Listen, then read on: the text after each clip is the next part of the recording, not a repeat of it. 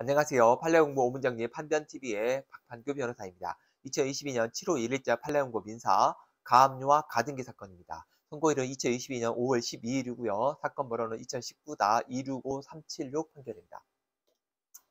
이 사건은 이제 가등기 말소 회복 등기이고 그러니까 가등기 말소된 건데 회복해 달라라고 하니까 원고가 가등기권자가 되겠죠. 그리고 피고는 그 경매에 의해서 경락받은 사람이다. 어, 상고를 했는데 파기환송돼서 결국은 경락이 이긴 사건이죠. 말소 회복이 안 된 겁니다. 내용이 이렇습니다. 이 사건 부동산에 어, 가처분 등기가 있었습니다. 그리고 가처분이 있는 상태에서 원고가 가등기를 한 거죠. 그러니까 가처분하고 가등기 사이에 채권자들의 가압류가 있었습니다. 정리하면 가처분이 있었고 어, 가압류가 있었고 가등기가 있었어요. 그런데 이 가처분 등기가 취소 사유가 있었습니다. 그런데 이거를 어, 유용해 가지고 가처분에 기한 본등기를 한 거예요. 그래서 본등기를 해가지고 말소된 겁니다. 그래서 지금 그러니까 가처분이 가압류와 가등기 앞서 있었고 가처분에 의해서 본등기가 됐기 때문에 앞에 가압류, 가등기가 모두 말소가 됐는데 말소가 됐는데 알고 보니까 이 가처분이 취소세가 있었어요. 그래서 나중에 유용한 것도 무효예요. 그래서 둘 다 무효이기 때문에 결국은 가압류와 가등기가 살아날 수밖에 없는 그 상황에서 원고가 이제 소를 제기한 거죠. 그런데 이 다음에 어떤 일이 있었냐면 이 근저당권이 실행이 됐어요. 근저당권이 실행이 되면서 경, 최종적으로 피고가 경락을 받았어요. 그러니까 지금 다시 말하자면 가처분 등기, 가압류 등기, 가등기 그리고 가처분을 위한 본등기가 됐고 본등기가 된 상태에서는 가압류와 가등기가 모두 말소된 상태에서 피고가 다시 근저당에 의한 경락을 받게 된 거죠. 그러니까 이제 원고가 이 중에 이 본등기, 이 본등기가 무효이니까 무효가 왜 무효냐면 가처분이 무효니까 취소됐으니까 본등기도 무효고 따라서 본등기가 무효니까 가등기는 남아 있고 가등기가 남아 있기 때문에 이 본등기가 무효인 상태에서의 경매 요것도 무효다. 따라서 가등기가 회복돼야 된다. 이렇게 주장을 한 겁니다. 이 문제는 이 경매가 됐을 때 이제 경매가 되니까 지금 이 상태에서 경매는 이미 이루어졌잖아요.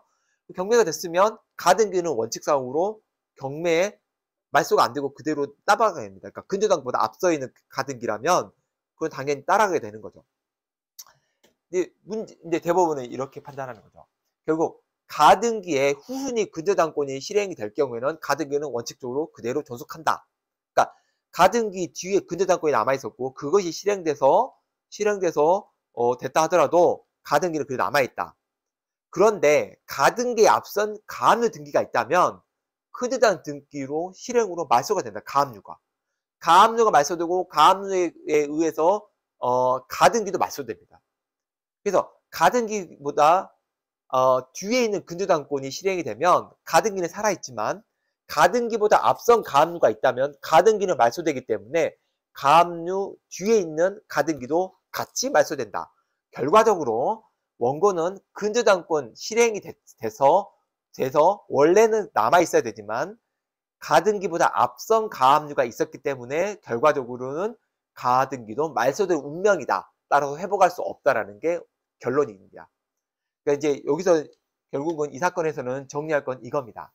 가처분은 등기를 유용을 했다고 하면 그 유용에 의해서 가압류를 가는 게 말소된 거는 무효가니까 회복되는 게 맞다. 그러나 훨씬 뒤에 있는 근저당권이 실행될 경우라면 그 근저당권에 의해서 가압류가 말소되고 가압류가 말소된과 동시에 가등기, 가등기, 그러니까 가압류 뒤에 있는 가등기는 말소 될 수밖에 없기 때문에 결과적으로 가등기 회복이 안 되는 거죠. 이렇게 말소되는 가압류, 가등기, 가처분, 뭐 근저당 이런 거 낼 때는 반드시 선후관계가 매우 중요합니다.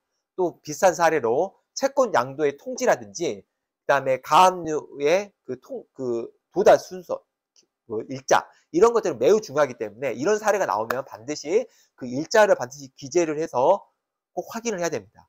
그리고 이제 실무에서 어떤 상담을 하거나 혹은 사건을 들여다볼 때는 반드시 이 날짜를 다 꼼꼼하게 기재를 해야 되고 어느 날짜를 기준으로 하는지 통지 날짜인지 양도 날짜인지 가처분 결정 날짜인지 가처분 결정이 제3자에게 통지된 날짜인지 이거를 반드시 정리를 해서 요그 선후 순서를 반드시 바로 잡고 그 순서에 따라서 회복되는 등기, 말소되는 등기, 그다음에 대항할 수 있는 거, 없는 거 이것들이 다 갖춰져 있고 그 중에 일부가 무효가 되면 어떤 건 살아남고 어떤 건 죽는지 다 그러니까 이 판례는 거기에 대해서 잘 여러 가지 등기가 나오기 때문에 잘 정리되는 판례니까 뭐 요거 그런 그 가압류나 가등기의 선후 관계 파악을 할 때, 그럴 때요 판례가 유용할 수 있으니까 같이 기억해 두시는 게 좋을 것 같습니다. 이상 마치겠습니다. 감사합니다.